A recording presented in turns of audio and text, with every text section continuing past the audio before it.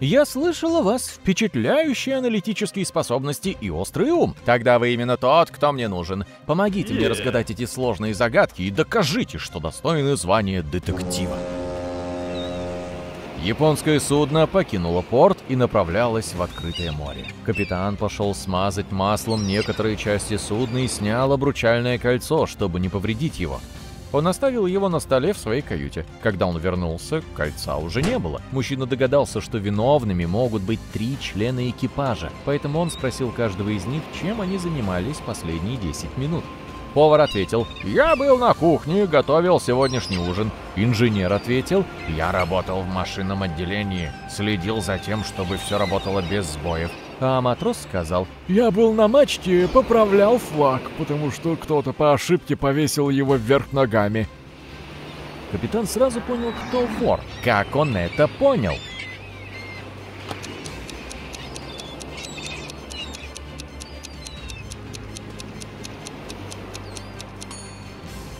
Это был матрос. Японский флаг белый с красной точкой посередине. Его нельзя повесить вверх ногами. Шерил читала книгу, но она случайно вырвала страницы 7, 8, 100, 101, 333 и 334. Сколько страниц ей нужно будет восстановить?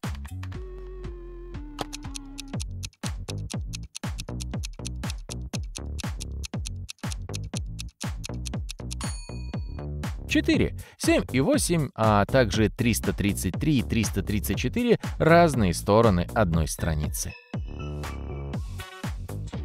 Из кабинета детектива Брауна исчезла папка с чрезвычайно важными документами. Во время кражи в офисе находились только четыре человека — Билл, Том, Гарри и Майк.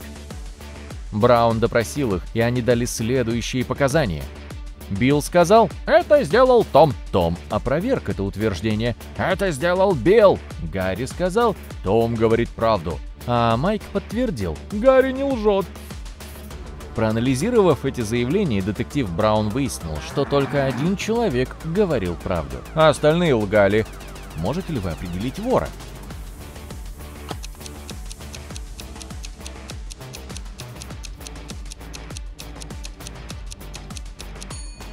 Том – вор, а Билл говорит правду. Если бы Билл был вором, то и Том, и Гарри говорили бы правду. Если бы Гарри был преступником, ни одно из утверждений не было бы истинным. И если бы Майк был вором, то ни одно из утверждений также не было бы истинным.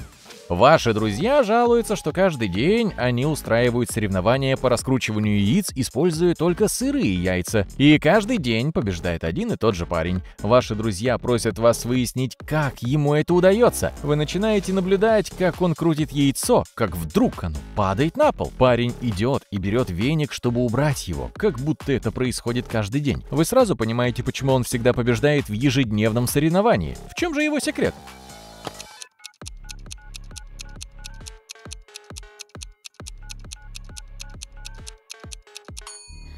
Мальчик взял метлу, значит яйцо, которое он крутил, должно быть сварено. Если бы яйцо было сырым, он взял бы швабру.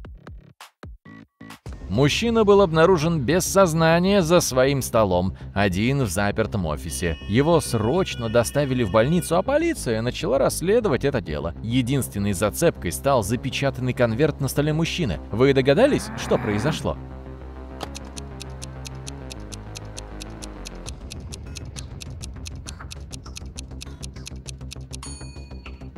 Клей на конверте содержал яд, и когда мужчина облизал конверт, чтобы запечатать его, он отравился.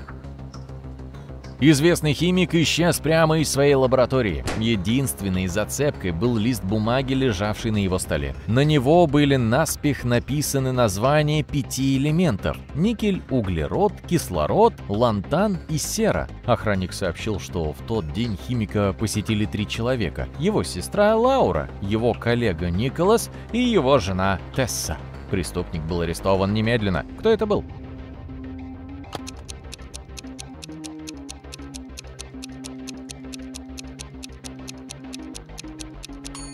Список химических элементов является подсказкой. Их сокращение образует имя Николас.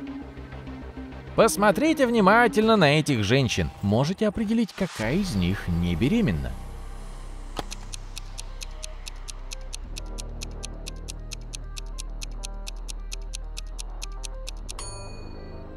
Та, что в зеленом платье. У этой женщины большие ступни, и она носит парик. На самом деле это мужчина, пытающийся украсть арбуз. Поэтому он оделся как беременная женщина.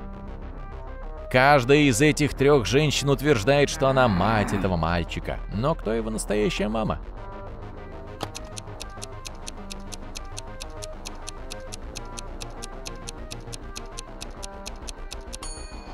Настоящая мама одета в одежду того же цвета, что и наряд ее сына. Какой милый семейный лук. Кроме того, мальчик смотрит именно на нее.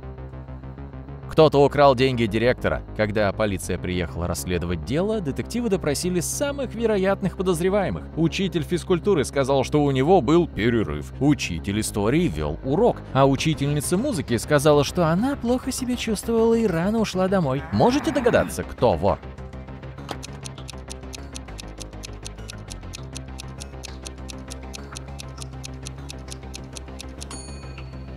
Учительница музыки. Посмотрите, у нее в сумке перчатки, хотя сейчас лето. Подозрительно. Посмотрите на этих троих мужчин и девочку. Первый мужчина говорит, «Я так испугался! Я позвонил в школу, но никто не знал, где моя дочь». Второй мужчина говорит, «Мы выгуливали собаку в парке, я на минуту отвернулся, и она исчезла». А третий мужчина говорит, «Понятия не имею, почему она сбежала. Дорогая, я купил тебе новый телефон». Кто из мужчин настоящий отец?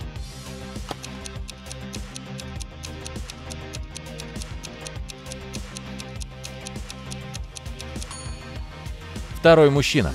Девочка слишком мала, чтобы ходить в школу или иметь собственный телефон. Кто-то украл важные документы из офиса бизнесмена, когда отключилось электричество. Когда мужчина обнаружил эту неприятную новость, он позвонил своему другу, частному детективу. Детектив прибыл и допросил всех, кто находился в офисе во время преступления. Первый человек сказал, «Я вышел из офиса, чтобы купить кофе и пончики». Второй сотрудник заявил, что было темно, поэтому он немного вздремнул. Третий работник сказал, «Я пошел на кухню, чтобы сделать латте в нашей новой кофемашине». Кто вор?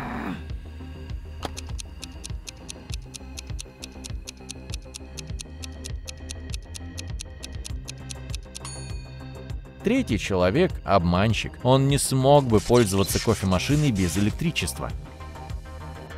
Мужчина потерял память, и пока каждая из этих трех женщин утверждает, что она его жена, он не может понять, кто говорит правду. Можете ему помочь?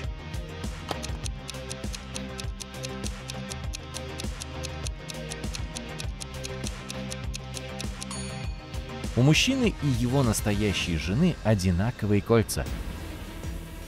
Посмотрите на этих трех подружек невесты. Одна из них задумала недоброе. Она испортила платье невесты. Сможете выяснить, кто именно это сделал?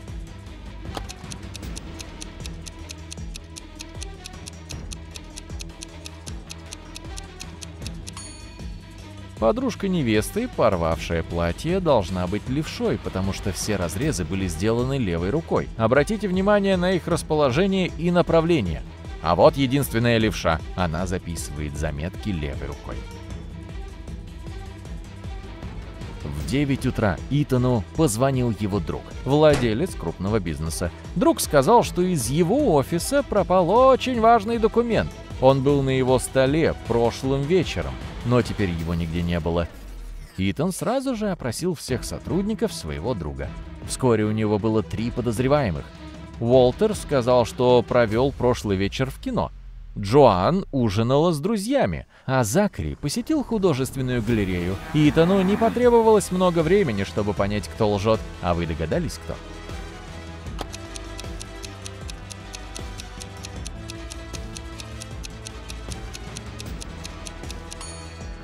Это был Уолтер. Его билет не порван. Это значит, что он не заходил в кинотеатр на сеанс. Оливия вызвала полицию. Она сообщила, что кто-то ворвался в ее дом, связал ее и забрал все деньги и ценности. Когда офицеры прибыли, входная дверь была открыта. И Оливия действительно была привязана к стулу, и все же детективы не поверили ее рассказу. Почему?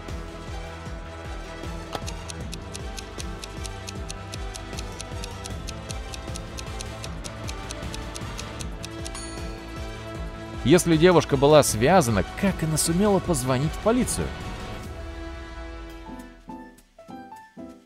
Вы берете это и выбрасываете внешнюю часть. Затем вы готовите внутреннюю, потом вы едите внешнюю часть и выбрасываете внутреннюю. Что это?